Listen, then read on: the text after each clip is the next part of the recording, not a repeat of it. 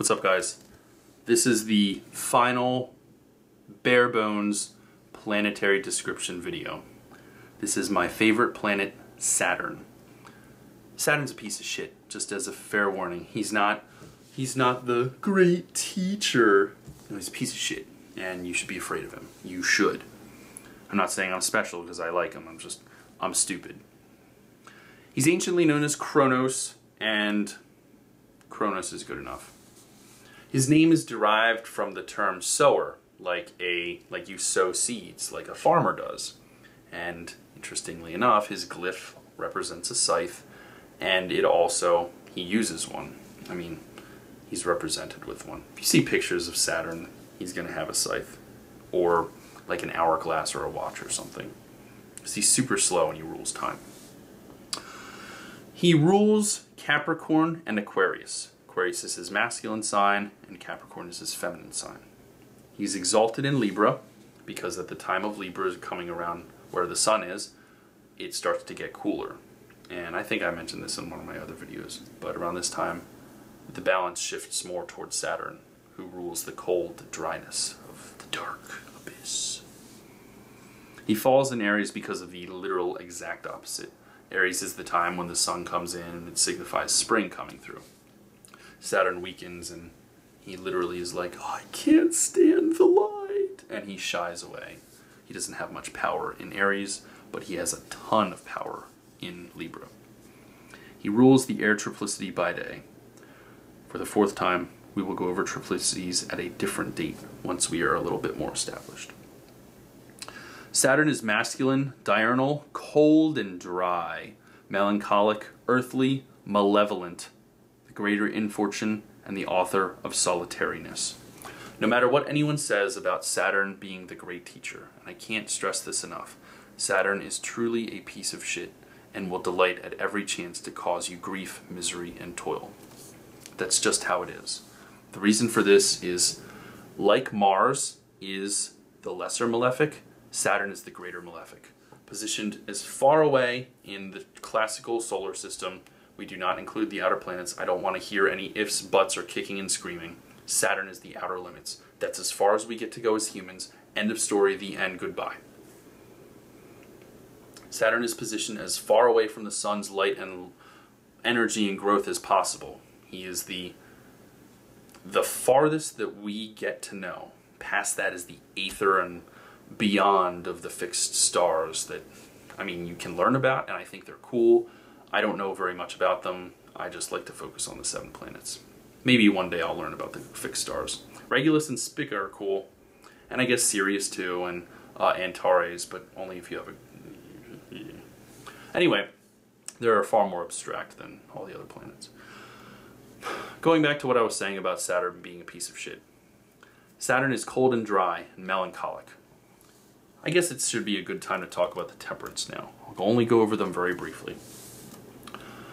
So the temperance, the temperaments are sanguine, which is the airy temperament, choleric, which is the fiery temperament, melancholic, which is the earthly temperament, and phlegm, which is the watery temperament. Sanguine is hot and moist, Choleric is hot and dry. Melancholy is cold and dry. And phlegm is cold and moist. The reason why Saturn is so evil and has such bad energies is, in a disclaimer, if you get a really strong Saturn, you're you're set. Like you're really, really. He symbolizes like royalty, and if you get a good Saturn. If not, well, whatever. But watch out for him, seriously. Anyway, the idea in ancient alchemy is hot and moist, or sanguine, or air. That's the, those are the two components, hot and wet, that promote growth. On the opposite end of the spectrum, coldness and dryness are the things that hinder growth. Oh, my, my garden it's ruined. Well, why, Jim? Because I'm not watering it and it's zero degrees out. Oh, don't worry. Your Saturn plants will really like that. the idea the idea is things realistically are not able to grow, whether human or animal or plant or what have you, in cold and dry at the same time areas. Whereas in the, in the middle of summer, when it's warm and wet and everything's growing and blooming in a hot and moist time, it should speak for itself. Do things grow in the winter? Before you get all pedantic on me, I'm sure that things do grow in the winter, but as a rule, everything shrivels up because it's cold and dry. That's what Saturn rules. Just to give you a fun little idea. Things that Saturn rules, people signified. Hun husbandmen, clowns, beggars, day laborers, old men, fathers, grandfathers, monks, Jesuits, couriers, night farmers, miners, potters, plumbers, bearers of dead corpses, fun, scavengers, carters, gardeners, ditchers, chandlers, dyers of black cloth, and shepherds. And the Jews. I'm not saying that to be an asshole, he literally rules the Jews. Anatomy and illnesses. All impediments in the right ear. Teeth, all. Hmm, all quartan agues. I'm sorry, I don't know what quartan agues are. Proceeding of cold, dry, and melancholy distempers, leprosies, rheums, R H E U M S, not R O O M S, consumptions, black jaundice, palsies, tremblings, vain fears, fantasies, the hand and foot gout, dog hunger, too much flux of the hemorrhoids, well, ruptures if in Scorpio or Leo, in any ill aspect with Venus rules the spleen. So, just for you merry friends out there who always talk about, oh, my Saturn is in Leo, I must be this, this is my personality. It's not just your personality. You can get fucking hemorrhoids if you have planet in a certain spot. As it literally just said right here, if you were like, source? It literally represents ruptures if in Scorpio or Leo in any ill aspect with Venus. I don't have to say anymore. This rules everything, guys. A lot, and to be honest, I think most of us, including myself, are just too stupid to get it because it takes a long, long time to understand.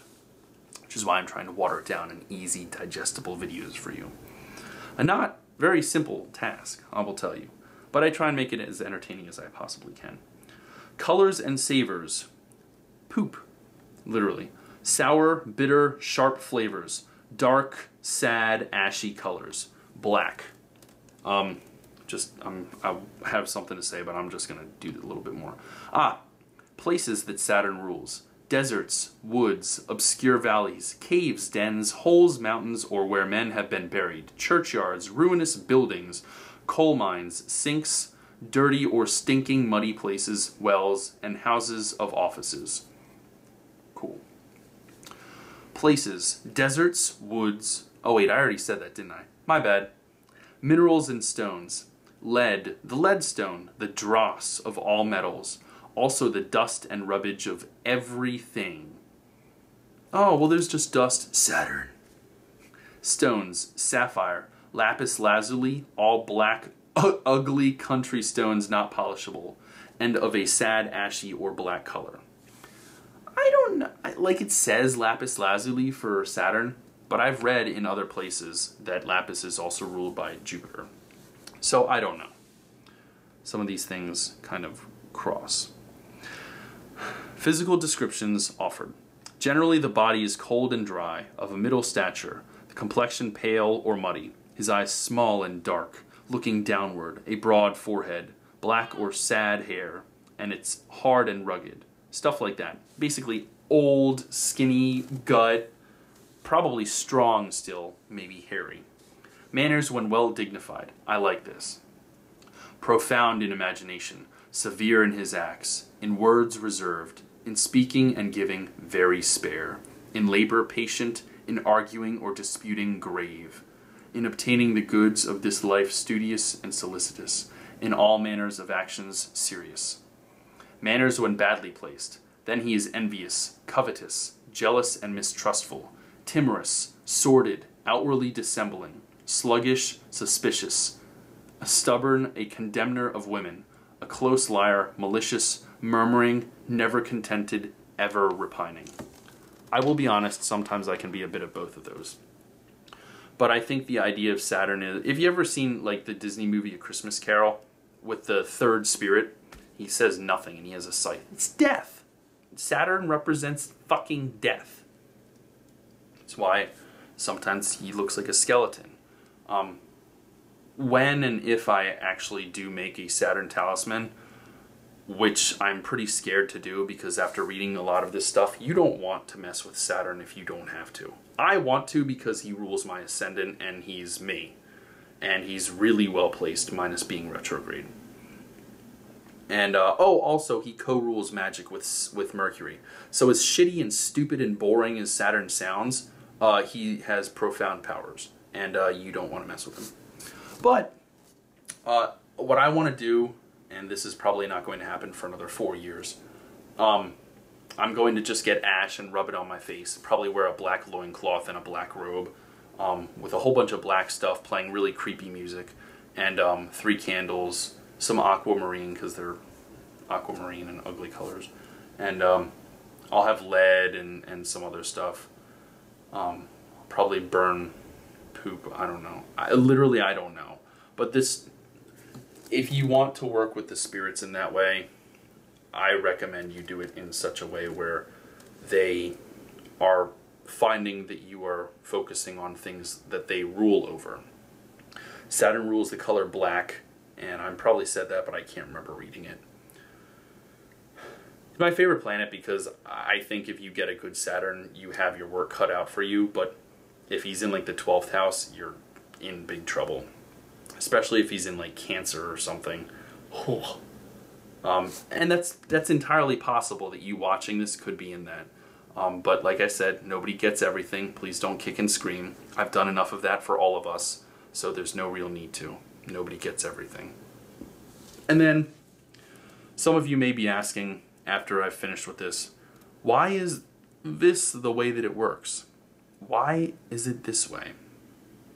Um, I've talked with my friend about this for a long time, and um, the answer that we come up with is why not? That's just how it is, guys. Um, you won't find this kind of information. I mean, sure, there are people that are reading books and whatnot, and they write things to you, um, but I try and make this a very unique, you know, channel, and um, I do it because I'm proud of the stuff that I read about. I think that a lot of the people that are dead, gone, and turned to dust and only barely forgotten memories, they learn something about the world that we don't hear about anymore.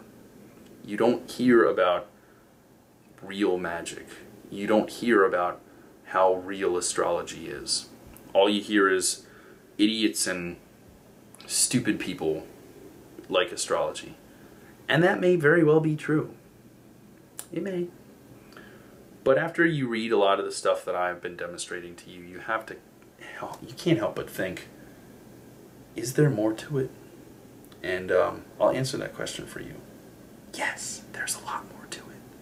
This is literally, this is like learning how to read in the grand scheme of things. You have to learn what the symbols mean, where they mean them, and in what quality. If you can't do that, you can't understand how the planets are interacting. And remember, guys, the planets are the main players, not the signs. If you guys just ignore the planets, don't even bother with astrology. I'm serious, because you're not going to gain anything from it. I, I know that sounds really grave, but it's just not going to help you to focus on the signs. Think of it like the signs are a stadium for baseball, and the planets are the players do you look at the stadium itself or do you look at the players doing things? It makes sense the more you look into it. And if you want, I can offer some more suggestions and reading material. I haven't done that because I just wanted to pound these out. And remember, these are super, super bare bone videos. You can find this information on Skyscript easily, but I wanted to make it easily accessible for you so you don't have to read it because I'm literally reading to you And that's probably what I'm going to be doing for a lot of my other videos. Now that we've covered all of the seven planets, not thoroughly, mind you, but basics, good enough for now. I'm going to go into the houses, I think, not all of them at once. I would say three of them at a time, just to make it a little bit easier. Or maybe I'll separate them out from angular, succedent, and cadent, which I think makes the most sense.